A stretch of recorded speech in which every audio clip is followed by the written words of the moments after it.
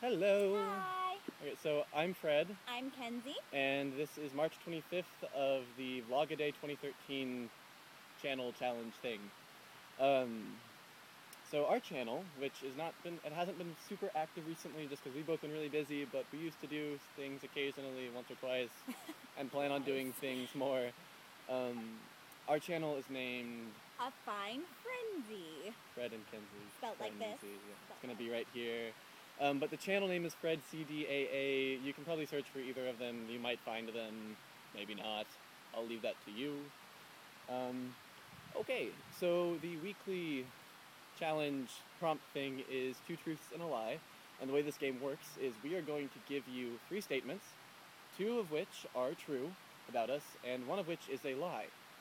Okay, so I guess we'll just go ahead and start. Alright. First statement Kenzie didn't sing Wheels on the Bus. She sang the Magnificat. Magnificat. Magnificat. And Magnificat in Latin on car drives with her family. Number one. Number one. The second statement is that Fred here once fainted in church. Yeah.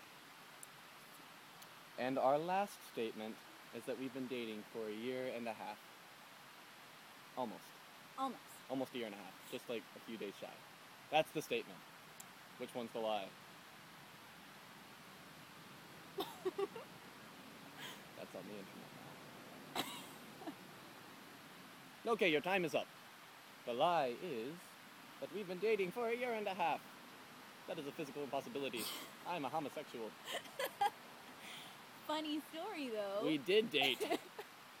but that's a story for another time, and maybe it will be on my and her channel at some point. Maybe. Make the Maybe. best faces on camera. Alright. So, So you thank you it. to Matt for organizing all this. It's been really cool. I think it's an awesome project. He thinks it's an awesome project. We were talking about how awesome of a project it was earlier before we filmed our video. Funny story. So yeah.